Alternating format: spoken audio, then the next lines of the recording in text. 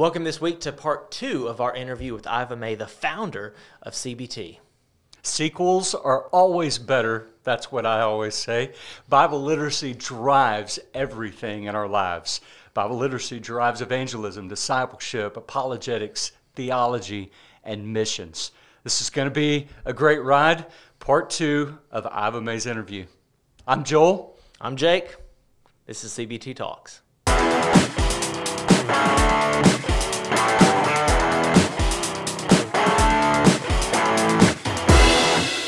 Well, Joel, I do just want to say uh, sequels are never better than the original. There's very few exceptions to that rule. Um, and I'm including the New Testament to Old Testament. I feel like the Old Testament holds up as well as Whoa, now. I'm just, I'm just saying, I, I enjoy You're- it. No, I no, no, no. it. I'm not saying I disagree. I'm just saying that's, yeah, be careful.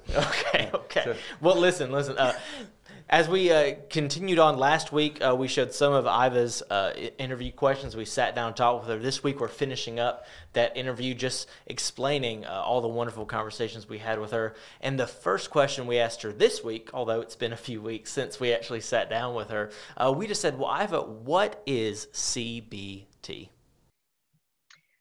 CBT is a unique approach in the sense of we're used to looking at the story of the Bible from pieces, from an Old Testament piece and New Testament piece, without putting a lot of thought into there's a consistent narrative being told behind it. So every individual story fits into a greater story, a narrative. And uh, so uh, CBT builds the context uh, for the story, each of the stories of the Bible by uh, developing a framework uh, so that people, uh, readers, would be able to discover the story of the Bible, to understand that story, and then be able to tell the story to others. Well, I was very impressed with Iva's answer to what is CBT, and I'm going to tell you why. I remember the first time I ever asked Iva, like, what is CBT? And uh, about four hours later, I still had no idea what CBT was. There was so much information, so much uh, explanation for, for what all CBT was.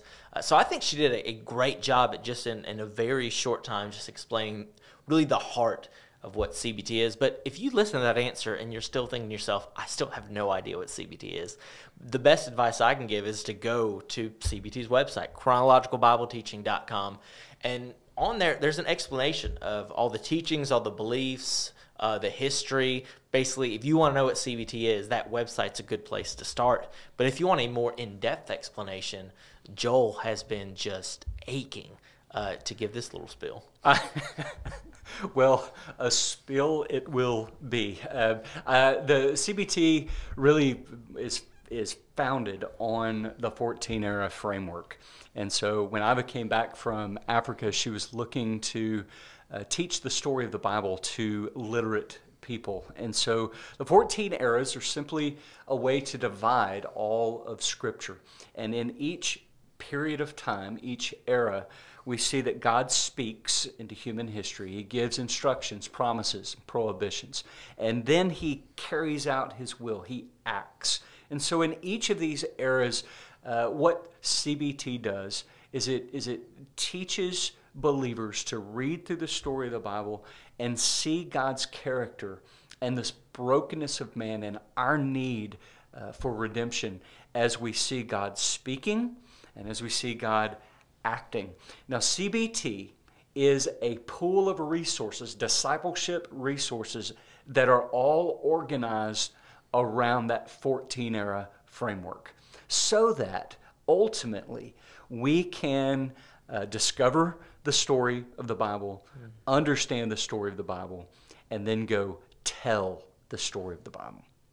Well, I think that was perhaps an, an even better explanation of what CBT is. So, so props to you. But I want you to know, Are you saying better than Iva? possibly. Well, yeah. see, well, I don't know. Is she gonna? wait, yeah, Iva- she's gonna be listening to this. No, Iva. Iva pays the bills. Perfect, one hundred percent. I'm on your side.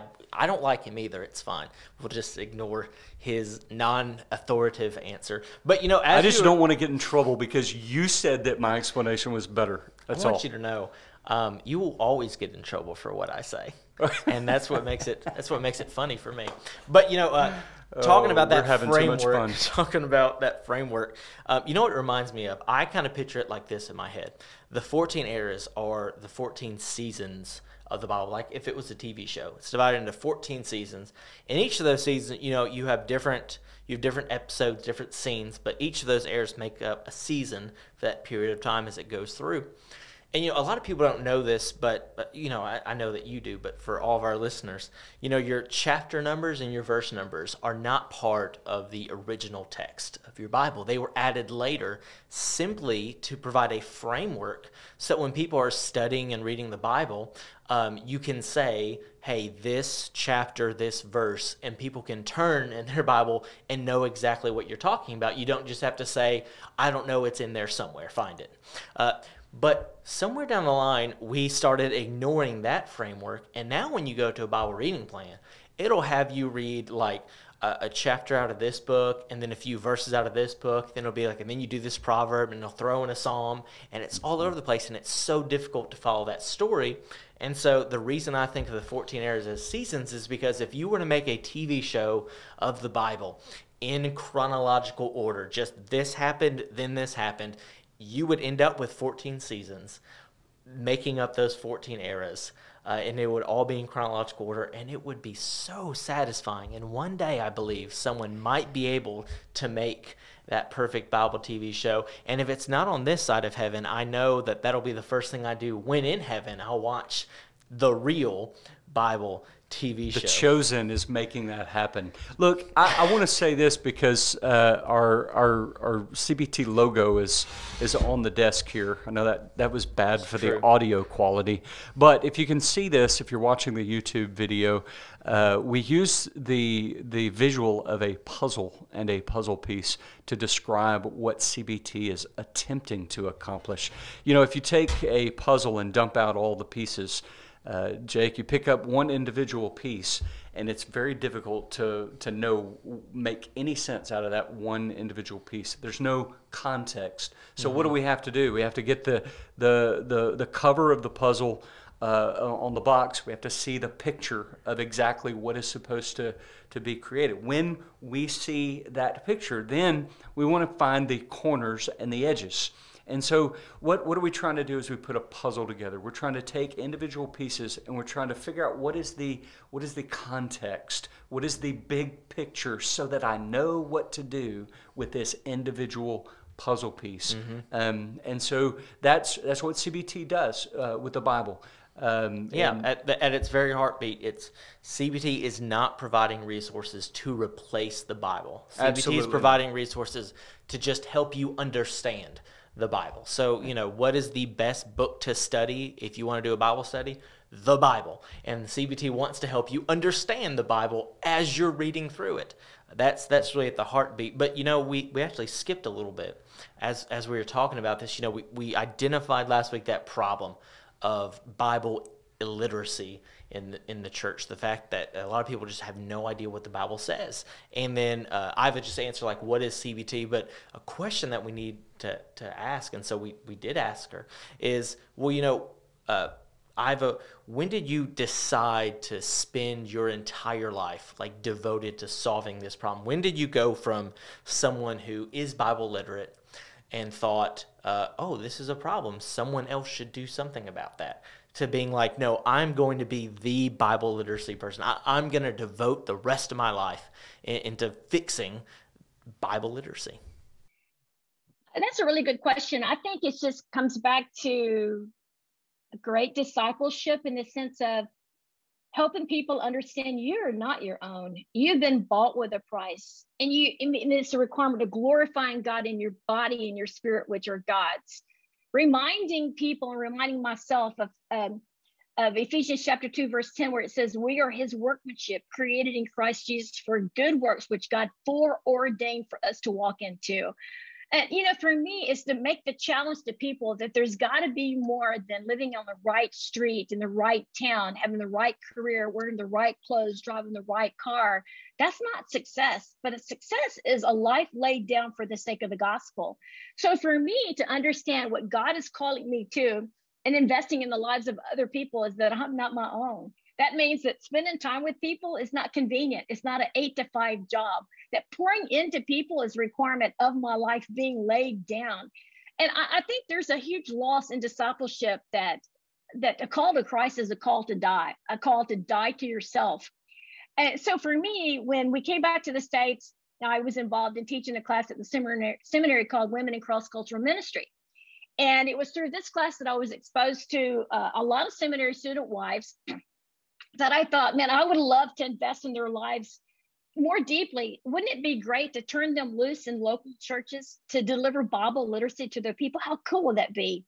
And so I developed the W3 material, which is Women, Worldview, and the Word, uh, with the goal in mind, to helping them see who God is for women and help them to see who God is for women, He is for them, and that He's for the women in their in their ministries, so that they'll enter in ministry as a person of grace and truth, but grace and for women to know that that God is for Hagar. He's He sees the invisible.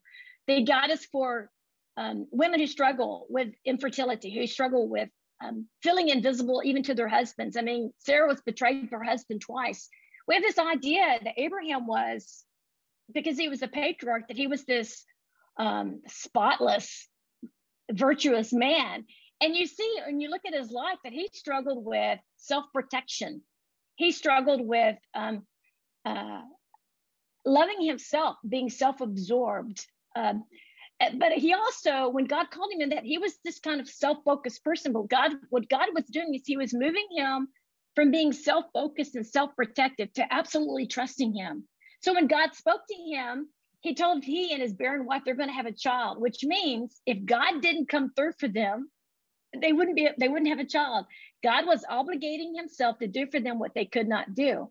So i think in discipleship is we're we've got this education we've got talents and abilities. We can go to all these self-help things. And so we think we have a lot to offer. And it's really god that spends our life stripping us down to help us see that we have nothing that we cannot give away what we do not possess. In the sense of what people need is more of god. And so the more I know him, the more I'm able to give him away into the lives of other people. And so for me, when I developed this material, I had no idea it was more uh, than just something I was going to use with local women. I was asked to train women in another church, uh, uh, their leadership team, on how to utilize the stories to teach the story of the Bible and, and, and to penetrate the hearts of women in, in, in ministry and then it led on it led to doing some other things. But i think the, the fundamental foundational thing that chronological bible teaching does is teaching the bible in 14 eras is breaking down the story teaching era by era and then putting it together and helping people see how fluid the story is. Not only is the story fluid it's simple enough for anybody to learn. And then once you understand the framework you can spend the rest of your life putting flesh on that skeleton. And so it's a framework that's critical for understanding the story of the Bible, that there are pieces of that story that's important for us to to see the developing story of the Bible, seeing the connections it makes. And so uh, for me as a discipler, it was more important to, for me to help people see truth for themselves than for me to teach everything I knew about particular stories of the Bible.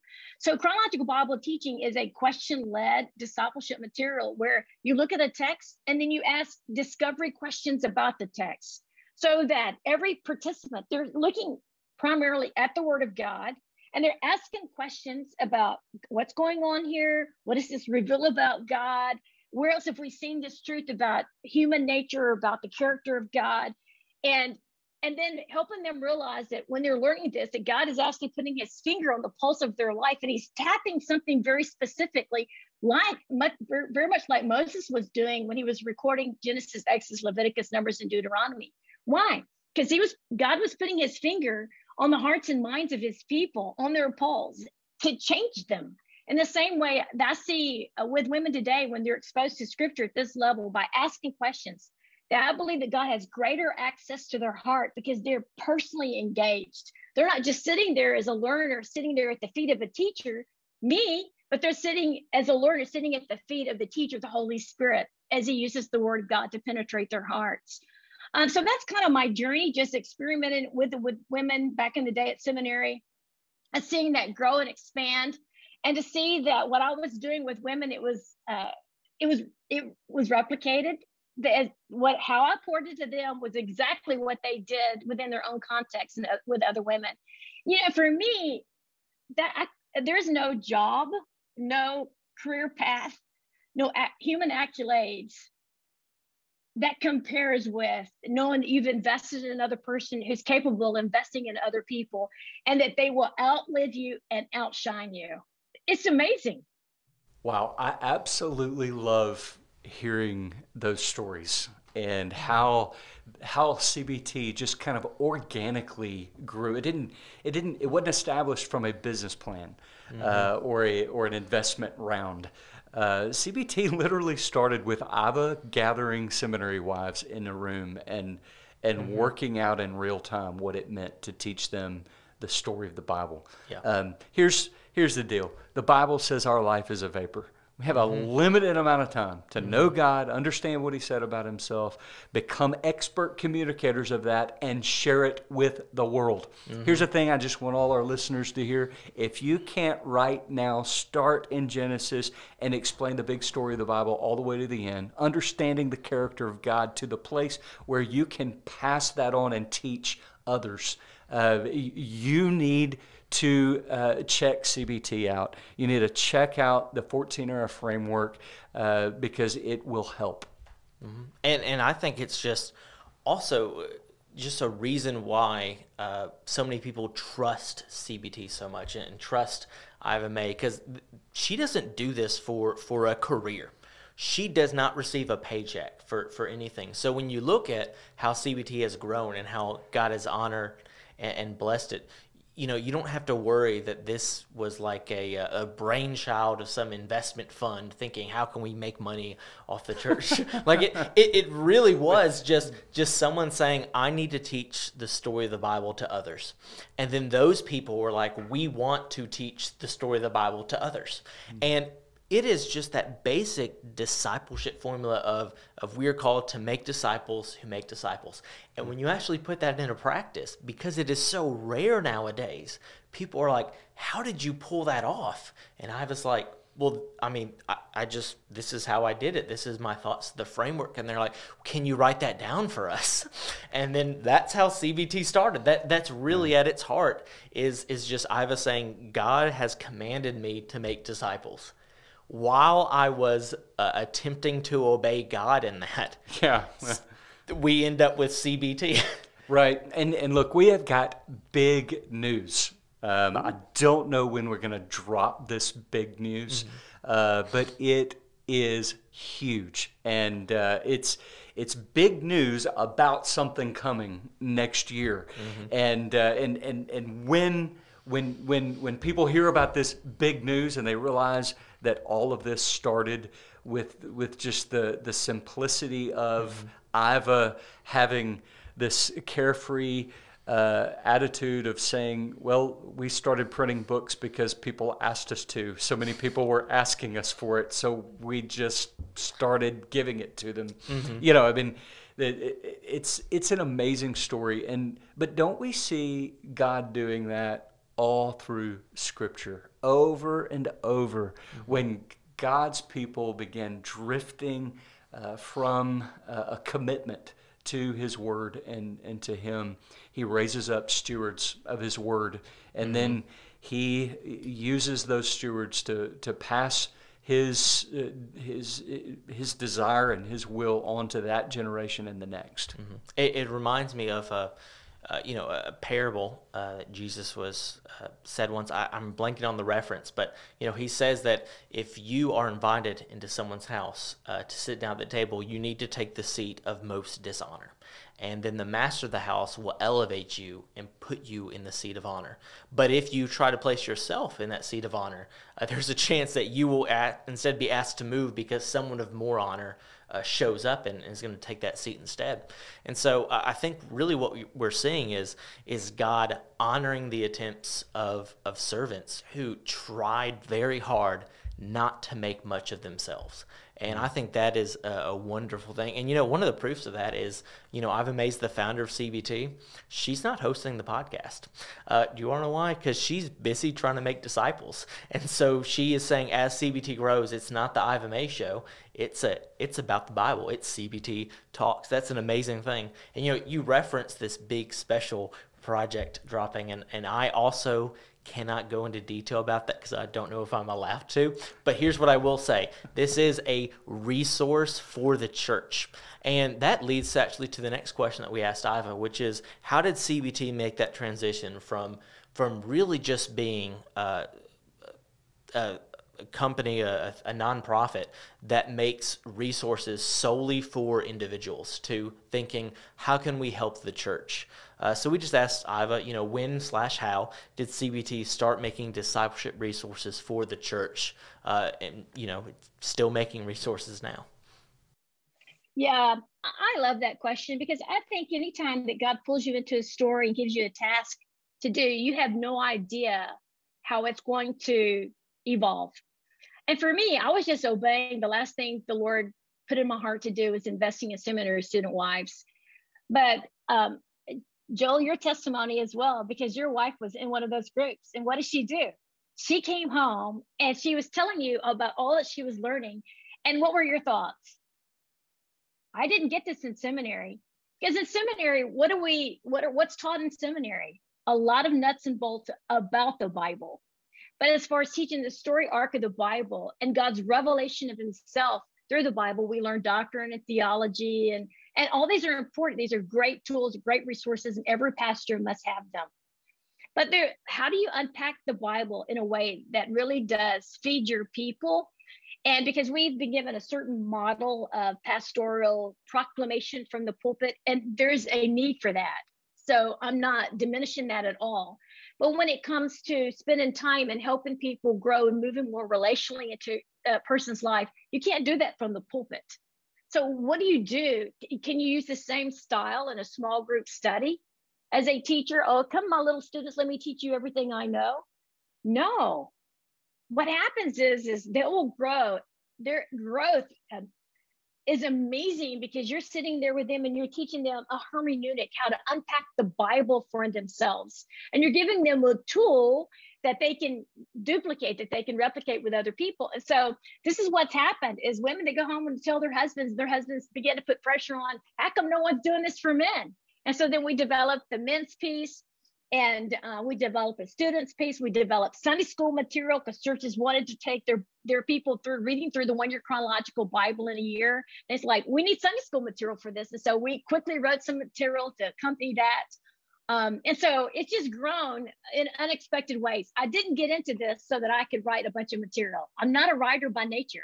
In fact when a writer a project comes to me i'm like oh my word. I i cannot take on this. It's just so above me beyond me. I, I, don't have the ability to do this but i know it's god's calling on my life. You know listening to iva unpack mm-hmm. that progression uh, that that just brings back so many memories for me. And she mentioned my story. So I, I really I really want to tell my story real quick. I mm-hmm. was uh, into ministry maybe 10 years. I'd pastored two churches, and we are preparing to go overseas.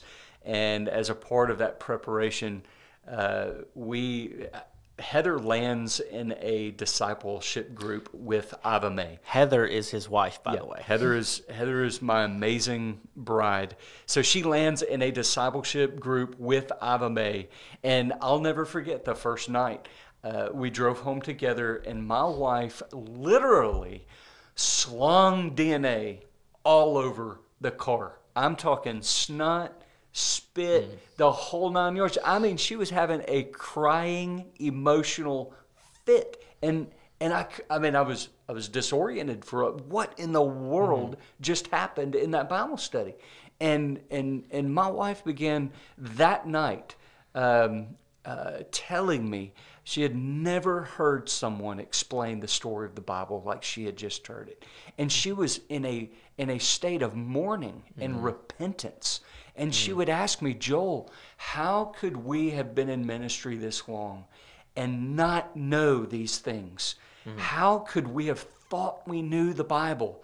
But in fact, I'm, I'm realizing we just don't know it. We've mm-hmm. been arrogant before the Lord. Mm. And and my wife would come home every week from from this discipleship group and she would start telling me uh, things. And mm. and the first time, the first time I, I, I even heard a, a a connection like the redemption thread and I, mm-hmm. I, don't because of time i don't think i should really go into that that's another episode where where we talk about I'll, threads yeah, and, I'll, I'll and demonstrate that but but you know just real quickly the, the the first time that i heard that mm-hmm. that that in in the garden man who god created as as his image bearers rejected him and as a, as a result of rejecting him mm-hmm. the bible calls that sin uh, the punishment for their sin was death but god uh, began redemptive work and, and he did two things. He gave them a promise and a picture. That mm-hmm. promise was that the seed of the woman would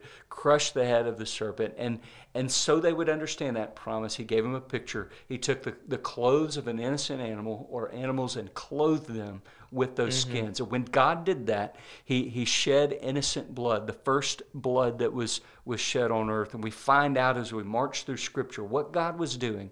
He was setting his terms for salvation. That salvation would come through the shedding of the blood of the innocent on behalf of the mm-hmm. guilty. And so they were to cling to this promise and they passed it on to their sons.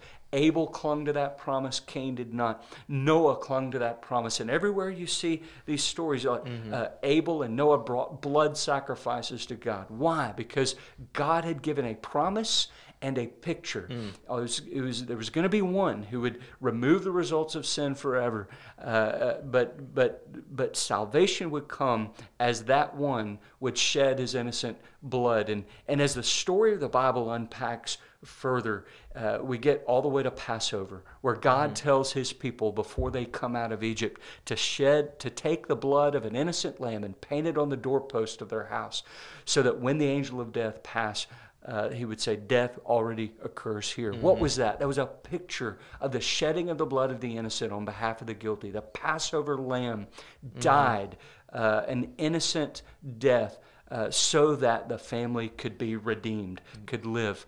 And you get all the way you get all the way to John the mm-hmm. Baptist in the New Testament. And John the Baptist sees Jesus and he says, Behold, the Lamb of God mm. who takes away the sins of the world. Andrew yep. hears John the Baptist, goes and tells his brother Peter, We have found the promised one. And, mm-hmm. and, and how did he know that? Because of the picture of the Passover, mm-hmm. because of the picture in the garden, because God had given his people a promise and a picture. Mm-hmm. Listen, my wife started coming home and and telling me mm. things like this.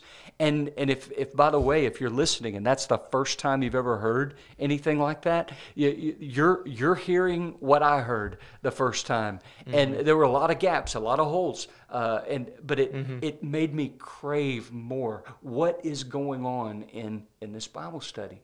I just began to soak it up, and here I am now.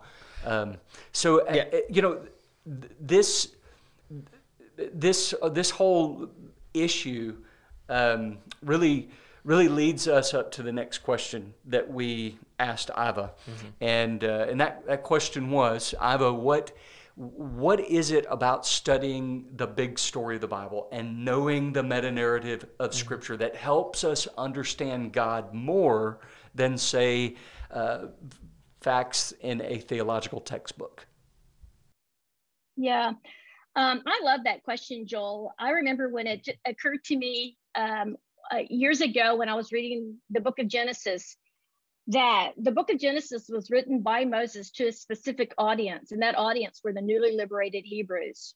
And the newly li- liberated Hebrews had lived immersed in the Egyptian culture for several centuries. And so, therefore, they were exposed to all kinds of false ideas about God. And they had this slave mentality having been slaves. And so they were being liberated by God, brought into the wilderness to dismantle those old ways and those wrong ideas about who God is.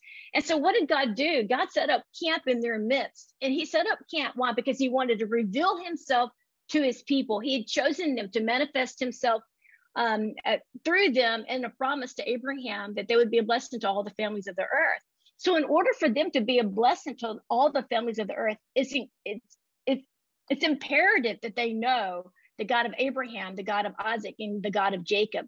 And that's really what opened up the book of Genesis for me is God was very intentional in his revelation of himself as a personal God and as a God who was teaching them sport, basic lessons about spiritual formation.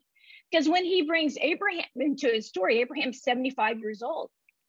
So we have the entirety of his story from the time he's 75 to the time he's 175 when God teaches this former idolater how to walk with him by faith. And then you have the entirety of Isaac's life and of Jacob's life. And you have uh, the building block of Israel through the 12 tribes of Israel. You have this introduction of Judah and understanding, you know, how deeply broken he was because he was assimilated into the Canaanite people. He married a, a Canaanite woman. They had um, half half Hebrew, half Canaanite sons. They were wicked before the eyes of the Lord. God killed the first two sons. And so you just see the danger of assimilation there by intermarrying with the Canaanite people. And so these stories would alert or should alert the Hebrew people when Moses starts talking to them about when you enter the land of Canaan, you know, to don't intermarry with them, don't worship their idols, because assimilation with the peoples around them would negatively impact them and they would commit apostasy and they would depart from the living God. And so for me, um, understanding that Moses had a particular audience, who was this audience? What was their context?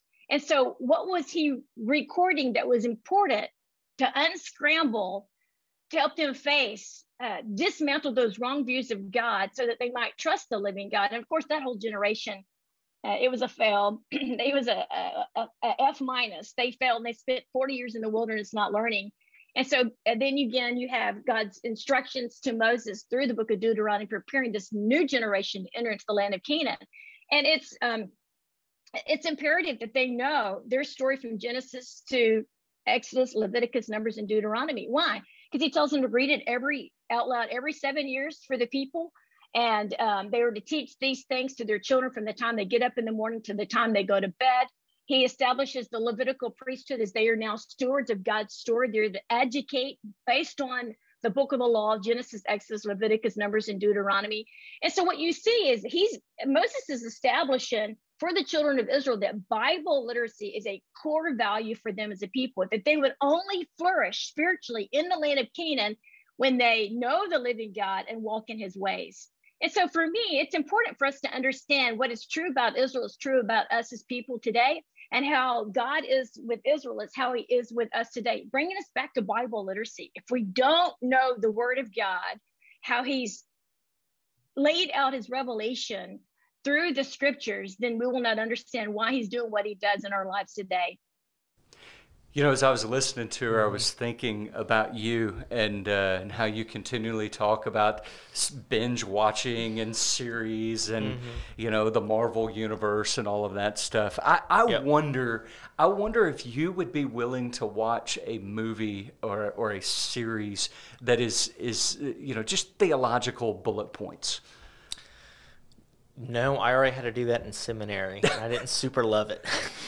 See, here's the thing. It, we have gaps in our knowledge of God because mm-hmm. we have gaps in our knowledge of Scripture, mm-hmm. and uh, so many, so many. Uh, if we're not, if we're not careful, so many of us can can construct a view of God that is not based on what we have encountered in His Word, but just what we read in a textbook, mm-hmm. and and and and God did not choose to reveal Himself in a textbook. He revealed Himself in a in a story. Yep. And, and it is so important for us to encounter that story for ourselves and, and, and, and be drawn into that story because it's only through God's story that we can find our place in that story. And, and I want to just say this real quick because we get into trouble in the church. We, we don't realize we have a huge blind spot when when you go overseas and you start encountering every religion under the sun, what you realize is that every religion has a a, a, a very basic um, uh, meeting point, intersection. Uh, they all get to a place where whatever they worship cannot be understood. They all get to a place where they have to explain something as mystery, something as mystical. Mm-hmm. The key uh, uh, aspect or, or, or the red flag that goes up on a, on a cult or a, any false religion is, is the second someone starts talking about mysticism, something mystical happened that it takes a special knowledge to, mm-hmm. to be able to understand.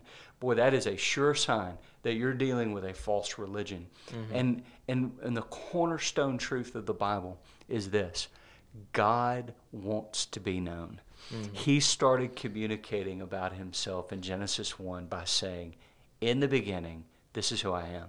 God created the heavens and the earth. Mm-hmm. And he tells this story so that we'll understand this creator. Mm-hmm. And, you know, I think that when we talk about Bible literacy and we talk about people really just not knowing the story of the Bible, we're really talking about two different aspects of, of not knowing. Some people don't know the story of the Bible because they they simply don't know much of the Bible. Maybe they've never read it. Uh, maybe they've never been to church. Maybe this is their first time hearing the gospel. And ironically, often it, it's those people who have a lack of overall knowledge that are most receptive to to learning the story. Uh, but sometimes when we start talking about Bible literacy and asking, like, can you tell the story of the Bible? You might have someone who's been going to church for 60 years who has listened to sermon after sermon after sermon, but they're still Bible illiterate. And every once in a while, they'll, they'll get, you know, defensive over the accusation that, that they don't know the Bible well enough.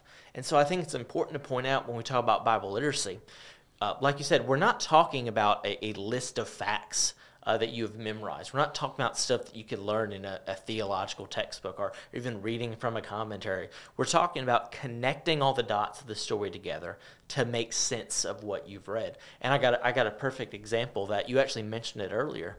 Uh, you know, talked about uh, the story of Cain and Abel. Abel uh, accepted uh, and embraced the the sacrificial system, that, that picture and that promise, or the promise in the picture, of the shedding the blood of the innocent on behalf of the guilty. Now, I knew in seminary from, from studying the Old Testament, uh, I knew that man did not eat meat until after Noah's flood. And I also knew the story of Cain and Abel, that Cain raised crops uh, and Abel uh, raised livestock but I never really connected those two stories together uh, in this overall direction, and it hit me. I remember my first time reading through the Bible chronologically, it just hit me as I was trying to piece all this together. Wait a minute, why was Abel raising livestock if they weren't allowed to eat meat? What was he doing? It wasn't just to, to make clothes, there's better ways to make clothes. Why are you raising livestock? Because they knew a sacrifice had to be made. So all of a sudden, this, this idea that Cain was not willing to buy livestock from the brother that he hated to offer the right sacrifice, this story starts making sense. I'm able to start piecing these things together. It, it's not that. Uh, it's not that all churchgoers have a lack of intellectual knowledge about the Bible. They they've seen all the scenes uh, in in this TV series. They they've seen the episodes. They know the characters, but well, but they've seen a few scenes, the the scenes that play well on a twenty minute sermon on on, on the highlight mornings. reel, yeah. But unless but you go to our church, it's a it's a thirty five to forty minute sermon. No, no, yeah, you're you're right, you're right. Yeah, but you know the the thing is connecting the dots and piecing that story together. And what you were doing earlier, just pulling that uh, part of the redemption thread, is just saying that all of these stories help us understand all these other stories. And what Iva was even saying about the, the Israelites as they are trying to learn who the living God is, you know, God identifies himself in those stories over and over as I am the God of Abraham, Isaac, and Jacob. God wanted them to know their story. God wanted to teach them who he was by telling them the story of the Bible. Why in the world do we start attempting to teach uh, God to others with these huge theological definitions and they're saying, well, he, he's all knowing, he's all powerful, he's present, he's immanent. He, we list all these things. when God reveals himself to someone, he identifies himself. Not through Oh. definitions, but I am the God of Abraham, Isaac, and Jacob. You Yeah. want to know who I am? You read those stories, you learn those stories, and I will show you who I am. You know, I'm, I'm just getting pumped up Oh, and I, am too. excited. I want to talk so bad, but you just keep talking. I'm sorry. You should, you should I'll- motor mount, today. I, I, I don't want No. you to stop. You're on no, fire. no, Go ahead. No, it, that that's all. That's all I had for, for that one. Off camera, he's going to tell me that I ruined it. No, no, no. Look, when when you were just talking about how um, uh, God was saying, "Look, I'm." I, I am the God of Abraham, Isaac, Jacob. If you want to know uh, what that means, go back and read these stories. You know, when you started listing out all those uh, theological attributes of God, you know, God is, is creator, He's omniscient, He's all powerful, He's omnipresent, all those things that we study uh, in theology books. Uh, what, what we mean when we say read the story of the Bible, go back to Genesis 1. What defines, what we, we understand what power is, but we don't understand what God's power is. Mm-hmm. We understand what authority is, but we don't understand what God's authority is. Mm-hmm. We, we don't even have the capacity. So what does God do? He says, let me tell you a story. Mm-hmm. It was it was a beginning, and I created everything that you can even see, and to, what, anything that is possible for you to discover, I created it. Right. So then then he says, here's what happened. I said, let there be light, and mm-hmm. something that did not exist obeyed my voice and began existing. Mm-hmm. That is Creator God. That is all authority. Mm-hmm. That is all power. Because it, it, I, I can have authority, but if I don't have power so that what I say happens, uh, it- then what authority do I have? Yeah. So that's all power. That's all wisdom. Because if I have the authority uh, to say what I want to say and the power to make it happen, then oh my word, I've got to have wisdom so that I don't say anything wrong or foolish. So, like, what does it mean uh, for there to be a creator God who is omnipresent, omni, omniscient, all, uh, uh, uh, all, uh, well, all the alls. yeah. So, it, what does that mean? Well, it, mm. look at the story. Look at how it plays out. Mm-hmm. This, this, this works it out for us. And, and I think if sometimes we get so focused on just the New Testament, on just of the, the life, death, burial, and resurrection of Jesus, we forget how the Bible describes Jesus himself. The Bible says that Jesus is the image of the invisible God. It says that he is the he is the word. He is this this he, he's the word made flesh. He is God in a form that we can see and understand. Like that's how the Bible describes who Jesus is. And yet we'll go out uh, in our efforts for evangelism or in our efforts for doing basic Bible teaching, and instead we'll start by trying to get people to believe in Jesus. And it's like, well, how do they know what to believe in? How do you describe to them what Jesus is? Well, we come up with all kinds of ways to describe Jesus.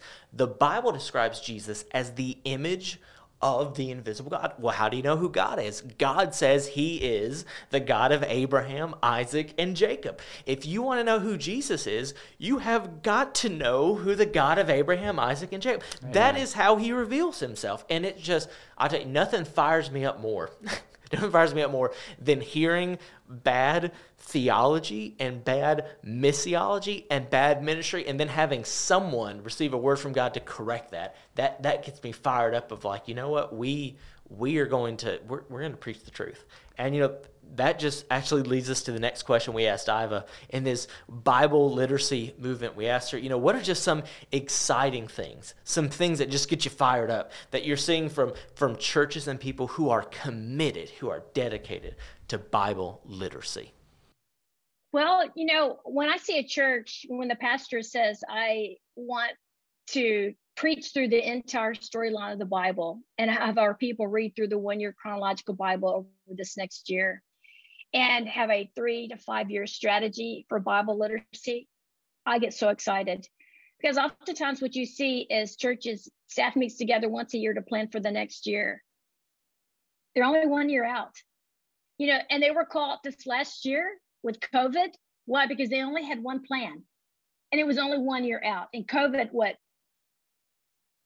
affected everyone. And I remember during this time, I was contacted by a church in South Carolina and they had already gotten into the place of they were going to teach through the one year chronological Bible this last year, and that's what they did. But he told me, he said, You have no idea, except that God did, that this was co- this is the one thing that unified our church during the time of COVID. Because everyone was reading the same thing, talking about the same thing, processing the same thing. And we were able through our Zoom meetings and so on, keep people on track. They were having home devotions uh, that, that they were putting together and making them available to their entire church uh, to follow. And so they just said we experienced such unity during this time. It was amazing. And uh, would that be wonderful if every church did that and they would experience it all the time? You know, because his Jesus said that they will know they will know my church because we're unified. Why? Because they're one. They're walking together. And I think how can two walk together unless they be in agreement? And that's Amos 3 3. And so if you have people reading uh, you know, they're doing one path this way, and then you have a bunch of other people in your church, and they're all doing their own thing, reading through the Bible. But what if you brought them all together and they're following one plan and reading it together? It would only unify them. So I, I'm excited when I see uh, churches uh, have cast a vision for their people. The people buy into it and begin to read through the Bible. And this is one of the statements I hear consistently I've never read through the Bible this year. I've never read through the Bible at all. This year, I've read through the Bible for the first time, and they may have been in church for 40 years or five years. Uh, you know, and so, but for me, is is reading through the Bible should be a regular habit uh, of every single believer, and that for people to live in church their whole life and never have read through the whole Bible, it's heartbreaking. And I love your personal vision, Joel, as a pastor. You said it would be tragic for anyone coming through our youth department to graduate from high school and not have read through the Bible, can't tell the story of the Bible, And how you've taken that personal and made it a challenge you and Jake to teach your young your, your students the storyline of the Bible. I love that. So for me, it's I just see that it re-energizes the church. Uh, pastors can wrap their heads around it. It's going to be a challenge, yeah, trying to do it from the pulpit, leading the church that way. But I see some re-engagement, some excitement about ministry, uh, to them. It's not just reading, you know, teaching through a series or a topic, but it's learning to how to handle the Word of God the way that God intended to be handled. Um, so I see only in the future, I see great things. I see more and more pastors who are getting a passion for it, getting a vision for it, and seeing the and seeing and understanding the need for the hour as a Bible literate people, and setting a strategy to make that happen within their own church. It's exciting. You know, I'm so glad that Iva uh, started talking about uh, COVID and its effect mm-hmm. on, on, the churches. Because you know, as a minister, I'm, I'm not gonna lie. When when COVID first like happened, and there's talks of the churches are gonna have to shut down the doors, and they don't know when they'd be able to open like in a very real sense part of me was like well i'm worried about my job now. Uh, how how long is this going to happen? What is this going to do to to our, our membership? What is this going to do for our folks that are starting to read through god's word? But but what i learned uh, through those months is that individuals who were committed to bible literacy who were reading through god's word uh, who were committed to learning the story the truth is COVID did not slow them down one bit because they were not dependent on coming to a Wednesday night Bible study or listening to a Sunday morning sermon to get fed in the Word. Their primary meal, the primary way that God is working in their lives, was them reading the story for themselves. And as far as conversations about where you're reading, asking questions, you know, we as ministers were still readily available uh, for those things. And so we had a, a whole section of people that still grew tremendously during that time. We had people get saved Amen. during those COVID times, uh, and and I know that. Uh, for a lot of churches, uh, it was a very difficult time of struggle. But but all I can tell you is that every church I know that had people that were really plugged into that CBT framework. I mean, the truth is, COVID didn't slow down uh, God's movement in our church and community. Uh, it it just didn't because man, people were not dependent on other people to tell them what God's word says because they were reading it for themselves. And you know, Amen. I, the story know, of the Bible works, and uh, you know, it, it, it, when you go through something like that, like COVID, uh, it, it it really brings that out because the God of Abraham, Isaac, and Jacob is our God. And, uh, you know, when you face a crisis, um, and, and during COVID, when our campuses were stripped away and our ministries and programs were shut down, the only thing we had left was our understanding of God's word and our ability to pass it on. That was all we had. And so uh, I think we, we received the harvest that we sowed. Um, Yeah. And I, I think those who sowed to Bible literacy flourished during that time. And there were many churches that did. Uh, but I, I, you know, talking about exciting stories uh, as a result of CBT's work and, and people who are, are, are giving themselves to learning the 14 era framework, I, I know for a fact that you have a very exciting story. And I'm very proud of this story. I tell this story over and over, and I really could tell it, but I but something something in me is giving me the sense that you would tell the story better. So, uh, man, what is the most exciting thing? And uh, I bet you he gets more fired up right now than he did the, the previous. All right, I- I'll, I'll tell you what the most exciting thing uh, about about CBT about Bible literacy is. Um, the most exciting thing is that it really, truly, actually works. I've been in student ministry for, for nearly a decade now, and I have tried every strategy, every technique, every study series. Like I've tried them all, done them all, trying to figure out what works the best in what context. But but I want you to know, the second we change the way we approach teaching our students and our youth to saying, you know what, we are going to teach that 14 era framework. And not only are we going to do that, but we are going to tell every single student that before you graduate, before you graduate high school, you better be able to to not only not only have you read through the entire Bible uh, multiple times, Wait, wait, you wait, can wait, wait, wait, wait. You're, you're telling me that you tell high school students that they need to have read through the entire Bible before they graduate? I'm telling you that the second they enter youth group and before it, if, if I know a family, I look them right in the eye and say, "Are you are, are you able to read?" And they say, "Well, yeah, I can read." Well, then you need to be reading God's word, and it's it's it's that simple. Okay, And- I just- I just wanted to make sure. I'm just That- saying, yeah. but- okay. But it, not only though do they need to have read through God's word multiple times, but also look at them and say, you know, you need to be able to explain the story. You need to be able to tell someone the story of the Bible before you graduate high school. And you know, it, it's the funniest thing because I get a little pushback on that sometimes, and my response and the explanation was, "Well, let me ask them, what, what's your favorite movie?" And they'll say, "Oh, it was I don't know, it was it was Avengers or whatever." That's that's what it seems all their answers are It's now. my favorite movie. Some. Marvel movie. They say they they say that Marvel movie, and I say, "Okay, well, what's the story of that movie?" And they can explain the plot and the characters and some certain dialogue and do the whole scene. And I'm like, "Well, what's is the Bible your favorite book?" And of course. If you're in a church setting, they can't say no. So they're like, "Yeah, sure, the Bible's my favorite It's book." such an and, unfair. And so that is setting them up, man. It is. I am- I am- I'm disappointed I in am you. I am setting them up to hold them you know what? We're going to do another episode on integrity and ministry. Hey, integrity is looking someone in the eye and saying, if if you really believe the Bible is God's word, can you tell me the story? Because here's what I say: I say, one day, one day, you're not going to be in this church, and you're going to be talking to someone, and you're going to hopefully attempt to share the gospel with them, and they're going to have a question, and usually that question is something really simple like this: What does the Bible say? And at that point, you're either going to have to find a minister who can explain the story of the Bible to them, or you are going to be able to explain it to them yourself. And there's also going to come um, a time where someone is going to challenge what you believe about the Bible. And at that point, you're either going to have to find a minister who can answer that question, or you're going to be able to respond with what the truth of God is. And and you know that that's that's the truth that we're at. And, and here's the thing. The most All right, wait, wait. So that's the introduction to this story. So, so I told you he'd get fired up. So the, the the introduction is you decided as a youth pastor that every graduating high school student was going to read through God's word before they graduated Mm-hmm. and be able to explain the big story of the Bible using the 14 era framework, right? Right. Okay, tell us what happened. When did you make this decision?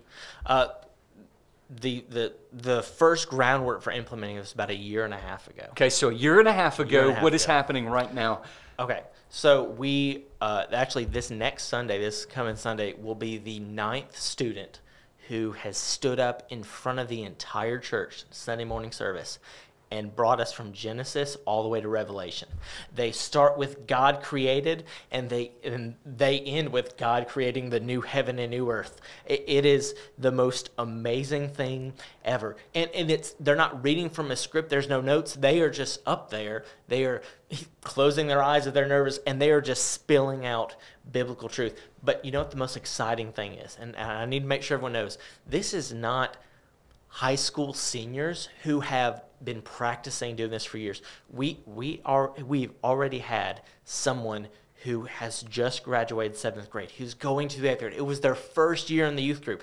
But because this person was committed to learning God's word and said, I will know it, I will learn it, they're able to story the Bible. We're going to get to that point where when it's your first year in youth, your very first year, when you're in seventh grade, you know the story of the Bible. Then we have five years to teach you how to story, to teach you how to evangelize.